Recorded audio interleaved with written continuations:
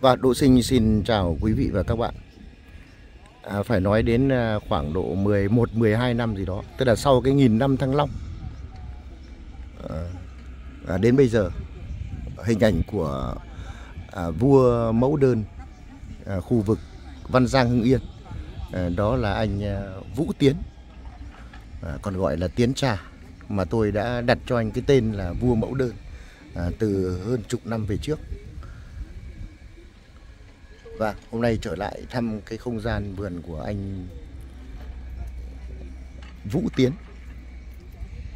Chúng ta cảm nhận được cái sắc màu của những cây hoa mẫu đơn có xuất xứ là những dòng mẫu đơn văn chấn, yên bái, rất là đẹp. À, từ trên cao chúng ta đã cảm nhận được cái không gian của khu vực làng nghề, hoa cây cảnh. Văn Giang Hưng Yên rất là sầm uất. À, trong đó không thể kể đến đó là vườn anh Vũ Tiến à, bây giờ Đỗ Sinh à, cùng các bạn chúng ta à, qua cái hình ảnh từ trên cao và chúng ta chi tiết một số những cái cây mẫu đơn là những cái dòng cây rất là quý à, trong không gian vườn cảnh của anh à, à, Vũ Tiến đến với các bạn.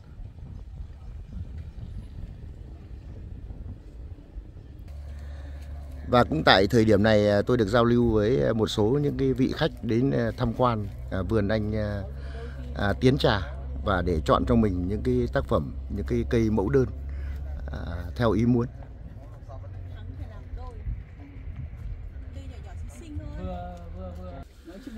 Và qua cái hình ảnh à, trên cao của một cái à, khu vườn mà à, chúng ta vừa thưởng thức, à, bây giờ Đỗ Sinh giới thiệu anh Vũ Tiến có những cái chia sẻ à, với anh em những người yêu mẫu đơn trên cả nước.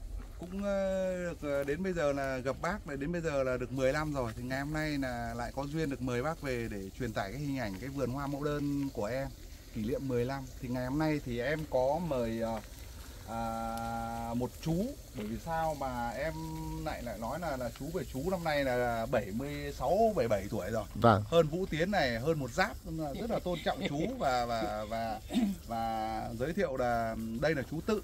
Vâng, thì uh, chú cháu biết với nhau ấy thì uh, được uh, cũng phải được hơn 20 năm nay rồi. À, về gắn kết về cái cây thì hôm nay thì uh, cũng muốn là gì là qua cái hình ảnh cái ống kính của của của Đỗ Sinh thì muốn là là mời chú. Chú là những người yêu cây và làm cây và cũng à, hiểu biết một chút về cái dòng hoa mẫu đơn này. Thì ngày hôm nay qua cái ống kính của Đỗ Sinh thì uh, muốn là nhờ chú là là những người trực tiếp đã chơi thì cũng giới thiệu những cái hiểu biết của chú về cái cây mẫu đơn. Thì hôm nay trên cái vườn này thì ờ, cảm ơn chú rất là nhiều là chú cháu mình đã gắn kết với nhau biết đến nhau. Mặc dù là cháu ở chú rất là xa nhưng mà chú là những cái người mà đã mua cây chơi cây mà chú cháu mình biết đến nhau đến ngày hôm nay thời gian thì nó cũng rất là khó khăn. Mà chú cháu mình vẫn gắn kết và đến ngày hôm nay thì cháu có một cái vườn này là cái công sức của cháu rất là là lâu rồi mà đến Quá giờ phút này luôn. thì cháu thấy rằng là là à, rất là mừng. Thì cảm ơn chú. Thì mong chú chia sẻ giúp để cho mọi người hiểu về cây mẫu đơn. Và vâng, Vâng, thì, thì cũng ờ, xin chào mọi người, chào anh em. Tôi cũng là cái người mà cũng rất yêu cây. Cách đây cũng khoảng là nếu mà tính thời gian khoảng 30 năm chơi cây rồi. vâng, Thế là trong quá trình cây thế nó nó nó bị ờ, thăng trầm thì, thì nó có xuống thì đến giờ phút sau thì chuyển sang cây hoa. Thế thì ờ, có ông Tiến ờ, ông chuyển đổi sang từ cây thế, cây bonsai sang cây mẫu đơn. Thế thì cái nguồn gốc cây mẫu đơn này thì thực ra nói là nó rất là quý nó là cái cội nguồn của văn chấn yên bái đấy mà thực tế cái cái này không không thể nào ai có thể là là, là nói khác giống khác màu được mà nó là tuyệt vời luôn thế từ cái đó thì ờ, đi sâu vào cái cái cội nguồn của cây ờ, mẫu đơn văn chấn này thì nó có cái s- màu sắc rất là tuyệt vời đẹp mà trong quá trình sinh sống của nó thì nói thật với mọi người là nó rất là chậm lớn như cây như thế này ấy, nó phải có khoảng đời khoảng 4 50 năm vâng, tuổi đời khoảng 4 50 năm. Đấy. Cho nên là tuy rằng nó như thế này thôi nhưng mà mình tính ra một cái cây nó vài chục triệu không không phải là đắt. Mà đến giờ phút này thì vườn ông Tiến này nó, thực ra nó có hàng rộng hàng hecta hàng hecta ấy. hàng vài nghìn cây chứ không phải là ít đâu Dạ. thế nhưng mà chúng ta thấy rằng đây là cái cách làm và cái cách chăm sóc rồi cách bón tỉa của ông Tiến thì tôi thấy là nó là rất là tuyệt vời đối với cái nghề làm cây thì chúng tôi là cái người yêu cây mà rất là, là, là thích cây thì đến giờ phút này tôi thấy là cái cây ờ, mẫu đơn văn chấn này nó đang thịnh hiếu ở trên thị trường nhưng đây nó là cây xịn luôn chứ không phải là cây lai tạp ờ, giống nọ giống kia. Mà mọi người mua cũng không nên là là bị nhầm lẫn vào cái cây ờ, mẫu đơn ví thử nhà Mỹ này. Thế rồi ờ, thằng ờ, ờ, mẫu đơn ờ, hồng rồi mẫu đơn các loại nó rất nhiều nhiều loại. Vâng, có thể họ chiết ghép vâng. vâng có thể là là chiết ghép. Nhưng mà đây nó là cái cây giống xịn của văn chấn yên bái nên mọi người coi khi mua hoặc là chúng ta khi ờ, đầu tư vào làm sao nó chuẩn với cái mẫu này thì chúng ta nó mới mới thành công được đấy là cái mà ờ, chia sẻ đối với toàn thể anh em chơi cây rồi bà con chơi cây trong coi như là toàn quốc Vâng, à, xin à, cảm ơn bác. Ờ, đấy.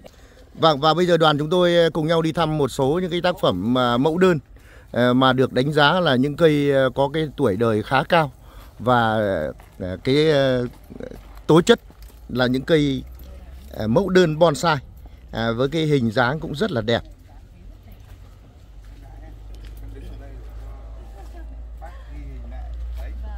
Vâng, đây là một cây mẫu đơn mà à, tôi thấy nhiều người đi tham quan và đánh giá là những cây có cái dáng rất đẹp những này. cây nó già như này tuổi đời bốn năm mươi năm Vâng. mới được già lứt như thế này. Chứ còn không phải ngẫu nhiên mà nó Tức là lên Vâng. vảy rồng rồi đấy. Vảy rồng vảy cá sấu hết rồi đấy. Vâng, nó nứt Đấy, mà đường kính của nó coi là sáu bảy cái phân. Vâng. rất đẹp. Vâng. Đẹp quá.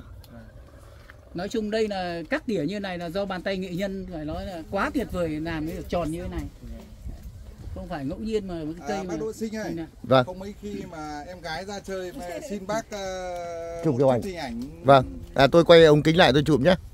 Bác cứ Vâng và tôi ờ, xin một kiểu ảnh luôn cho anh ờ, Tiến và một chị khách hàng. À tôi chụp nhé. Anh anh Tiến đứng khép chân vào một chút.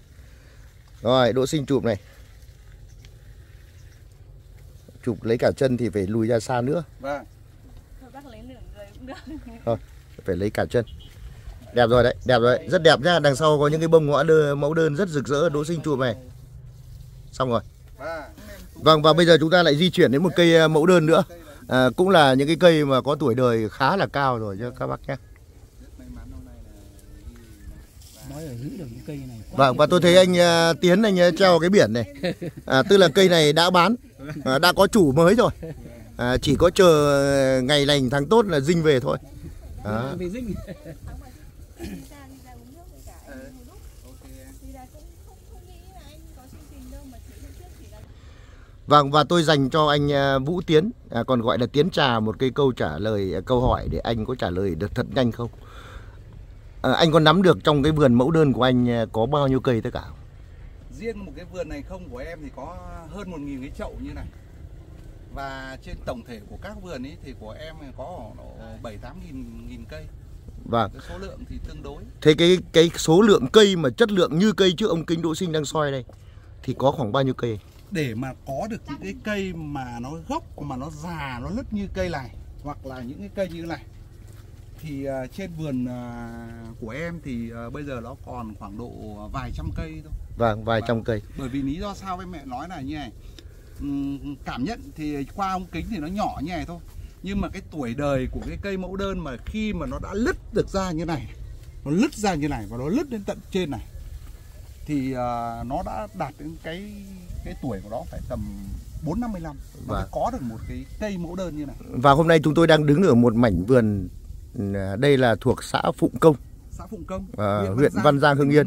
Thì anh có mấy mảnh vườn tất cả? À, hiện nay thì em có bốn cái mảnh vườn như này. Vâng. Vâng. Có bốn mảnh vườn. bây giờ ấy là nó do nó, nó cái quá trình làm vườn thì mấy cái vườn vừa rồi ấy, gần như là cả một năm vừa rồi là là là là gần như là không hoạt động.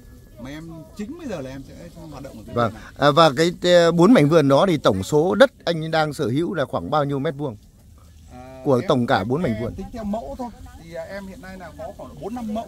Bốn năm mẫu. Bốn năm mẫu. Mỗi mẫu là ba ba nghìn sáu trăm chính xác Thì nhân với 4, 4, 3, 12 À chà Thế vào quãng độ 15 nghìn. À, bọn em tính nông nghiệp thì bọn em không mấy khi để ý. 15 nghìn mét vuông đất. Và à, Để làm mẫu đơn. Đúng rồi. Xứng đáng quá. Đúng là vua mẫu đơn mất rồi. Em thì à, gần như là chỉ làm một loại mẫu đơn này thôi. Vâng. Là tức là anh ờ, từ đầu đến cuối chỉ có loại mẫu đơn đỏ văn chấn. Đúng rồi. Tuyệt vời đấy. Tức là anh chuyên anh chuyên đi sâu à, nếu nói về mẫu đơn này thì cũng như là các giống khác thôi. Cái loại nào thì nó cũng à, có rất là nhiều giống nhưng mà đặc biệt thì em được mọi người biết đến là sở hữu cái giống mẫu đơn văn chấn này. Nói cái văn chấn này là nói về cái nguồn gốc thôi chứ còn trên thị trường thì nó không có nhiều cái giống này. Vâng. Đấy. Chui giúp vào các cái vườn cây các thứ thì moi từ cái gốc được mua được cái phôi nó về là sướng lắm. Đấy. vừa rồi coi như là tôi bán một cái cây xanh mà tôi mua của Tuấn Mạnh ở cái xe đối tượng này với là mua 7 triệu. Cái phôi không về bán. Nếu mà bán cái thời điểm nó nó phải tiền tỷ là mà cái bông Mà bông hoa nó này to cái bông hoa này anh nói biết nó có thể đổi màu màu. và nhưng nó mà mai nó lại đỏ à. Vâng và các bạn à, đến với anh à, Tiến Trà.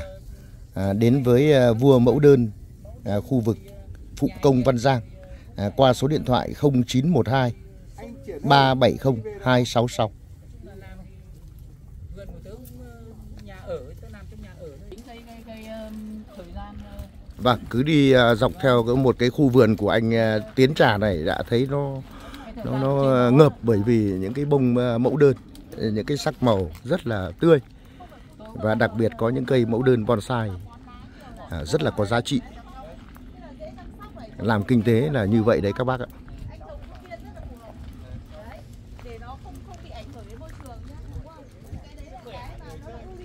Ngoài những cây thân một ra còn có những cái cây thân à, gồm có nhiều thân. Và đây là những cây nhiều thân. Và có một lần anh à, Tiến đã nhượng cho tôi một cây mà tôi cảm thấy rất là tuyệt vời bởi vì trong một cái bụi cây này trong một cái cái cái à, trong một cái à, à, chậu mẫu đơn nhiều thân như thế này à, anh Tiến đã tách một thân ra và chuyển lên nhà Đỗ Sinh để sở hữu. Và đến bây giờ cây mẫu đơn nhà tôi phát triển rất tốt và hoa cực kỳ đẹp luôn mà trồng trong khuôn viên rất là phù hợp. Và Bác- rất là phù hợp. bác Đỗ Sinh này. Ít sâu bệnh. À, em muốn nói về cái cây mẫu đơn này ngoài cái vẻ đẹp của nó rồi ngoài cái cái ờ, cái cây này nó là một cái cây phong thủy rồi nhưng mà em phải nói về cái cây mẫu đơn này ấy, thì nó là một cái cây dễ chăm dễ trồng. Ít không phải ít ờ, phải sử dụng đến phân hóa học cũng như là thuốc thuốc sâu. Vâng hay Thế quá. cho Dạ. nên là riêng nói về chơi viên. mẫu đơn này thì nó nó nó, rất là nó, nó cái sức sống của nó rất là mãnh liệt. đấy. Vâng. Và hai là cái sự chăm sóc của nó thì không cầu kỳ như các loại hoa khác ở trên thị trường như hoa hồng hay là một số loại hoa khác phải chăm sóc phun thuốc sâu quá nhiều. cho nên là em thì em lười đâu mà em rất muốn là chọn cái loại cây này để mình à, mình làm cho nó nhàn và cái môi trường cho nó đảm bảo. bác ạ có sử dụng thuốc sâu nhưng mà nó rất là ít. Vâng. hạn chế à, khoảng độ cái vườn này mà nó vừa rồi nó vừa ra một cái lứa hoa thì cái lúc này bác đang quay ấy, thì cái hoa nó không được khoe sắc và nó không được rực rỡ. Thế có thể là một là- tháng sau. Vâng, bác ạ một là tháng sau thì ờ, sẽ mời đỗ sinh đến ghi hình lại cái lứa hoa đẹp nhất tốt nhất. Bởi vì sao là gì cái lứa hoa này nó vừa lở xong. Thì cái lứa lộc tới này cái lứa lộc tới của cái đầu ngọn này nó sẽ ra cái lứa hoa hoàn toàn khác luôn. Vâng thì ờ, có tí thể bông hoa nó sẽ to căng hơn vâng. và dày hơn đúng không anh? Vâng đúng rồi. Rồi tuyệt vời rồi. Và tôi ờ, dành ờ, vài phút cuối cùng để tôi đi lướt qua những cái hàng chậu mẫu đơn trong một cái khu vườn lớn như thế này để chúng ta cùng nhau cảm nhận nhé. Đây là giữa hai cây này. Một cây thì có hoa và một cây không có hoa. Đấy cái cây này à, đấy cây này thì gần như là ngọn năng cũng ra hoa. Và cây này thì hiện nay là nó chưa ra hoa. Bởi vì lý do sao là sau mỗi một lần mình chơi thì cái cây này nó ra hoa đợt à, cách đây khoảng độ một tháng rưỡi. Thì em cho thợ cắt hết đi. Cắt đi để đón cái lứa lộc mới. Lứa lộc mới thì nó lại ra các đầu hoa ở trên ngay đây thôi. Tức là nó sẽ chậm khoảng một tháng nữa nó mới có. Đấy chẳng hạn như còn cây này thì lại bung lụa rồi chẳng rồi. mà như mà như những cái cái cái những cái bông này là lâu lắm rồi rất lâu tàn. Đấy đang Trời đang ra bền. Vâng. bác này bây giờ Em à, cắt em muốn nói như này để để để cho mọi người có sự so sánh này. À, giữa vâng, hai cái cây mẫu đơn này. nở mà mà đến về chiều cao. thì mình cắt và cái kích cỡ thì gần như tương đối như giống nhau. Tức là cứ một tuần nhưng mà về độ tuổi thì cái cây này ấy, thì nó hơn cái cây này khoảng độ 20 năm tuổi. Và cái cây kia nó nứt vỏ nhiều để mà có được một cái cây mẫu đơn mà mình túm vào tay mà nó chặt được một cái tay này và để mà nó lứt được ra như thế này thì cái cây này nó phải từ 30 năm đến 50 năm rửa ra. Và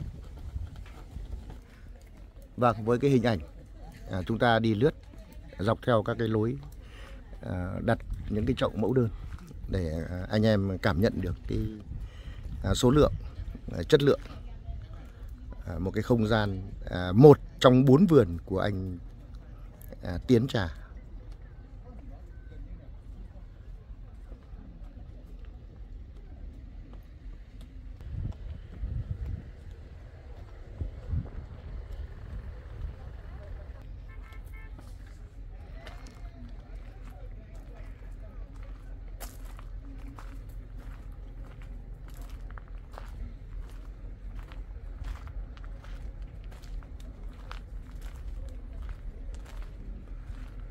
Phải nói là rất tuyệt vời các bác ạ.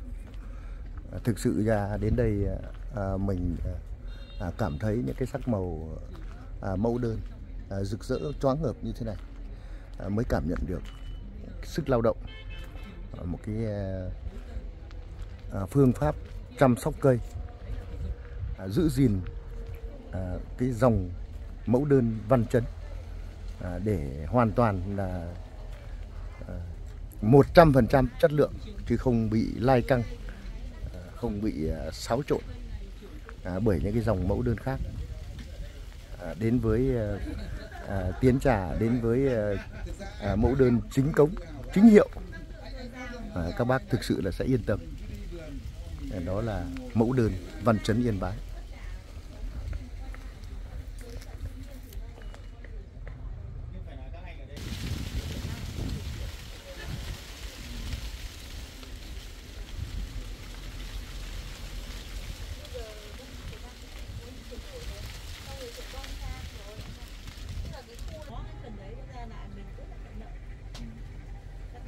nhưng mà chắc ờ, tiến xa hơn Vâng và đoàn chúng tôi đã à, tạm dừng à, cái khâu à, tham quan để ngồi vào đây thưởng trà à, ngắm những cái à, cây mẫu đơn gần đây nhất với rực rỡ sắc màu như thế này.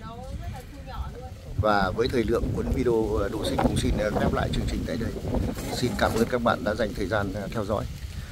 Chúng ta hãy chọn cho mình những cái chậu mẫu đơn theo ý muốn. Đến với tiến trà đến với vua mẫu đơn Văn Giang Hưng Yên. Xin ờ, chào các bạn và hẹn gặp lại ở những chương trình sau.